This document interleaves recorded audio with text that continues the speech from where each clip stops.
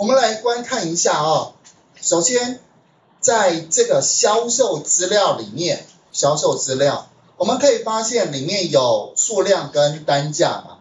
那这个数量跟单价，我们可以增加一个栏位，算出总价。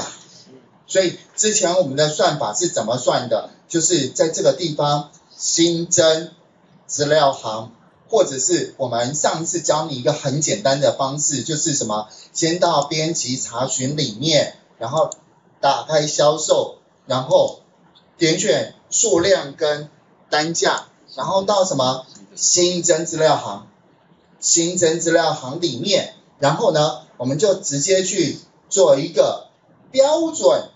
标准，其实，在真的英文这边不是放 standard，就是放 compute，就标呃四则运算，标准跟加减乘除到底有什么关系？好，没有关系吧？你要是翻成运算，我还觉得还比较合理一点。大陆人哦，实在是，然后这边点选乘，我们就算完了，记得把这个名称修改一下，好。这是上次教你们的方法，但是我会觉得说，今天我不想要这样子来去教，我们要开始先教你说自己手动算，因为那些函数都必须要靠你自己打字打出来的，好，所以怎么做这件事呢？比较简单做法应该是这个样子哦，我们就直接透过新增量值，在这个地方，我们可以直接点选新增资料行。然后接下来把这个资料行的名称改一下，例如说我们叫做总价。然后接下来呢，在这个地方我们去算出来数量乘以单价，所以我们就直接用什么栏位名称，例如说数量乘单价，然后按一下 Enter 键。这样我们就算好了总价，增加了一栏。好，所以这点是要请各位稍微知道的。但是现在做这件事情哦，现在做这件事情，各位要思考一件事哦。我们的第一个原本的资料没有，原本的资料，我现在重新打开给各位看，销售资料那个原始的 Excel 有没有增加了一栏？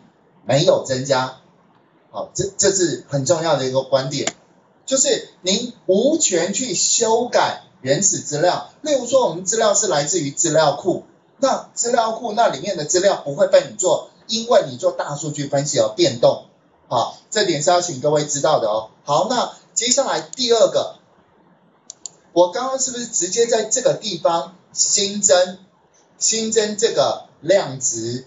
新增资料行，好，所以在这个地方，这个地方我们停留在是所谓的一个呃后面的处理，我们叫做资料四级，资料四级就是被我亲自手工做出来的。但我们来看这个编辑查询哦，编辑查询是不是我一直在强调它是 Power Query，Power Query 里面有没有这个东西？有还是没有？没有哦，你看哦，编辑查询，销售，有没有看到总价？没有，可以了解吗？好，所以这里要请各位稍微知道一下，您是在哪里做这件事？我现在是在这个所谓的一个呃 Power Query 里面，呃，我是在那个资料四级里面做这件事了，跟原本的那个资料。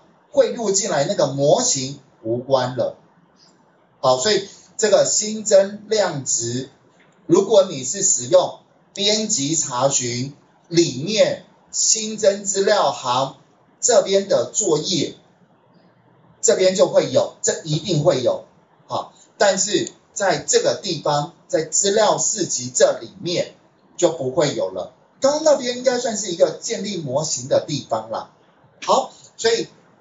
只有请你做一件事情，第一个点选这个资料，然后接下来呢，选到这个销售这张资料表嘛，然后请去做新增资料行。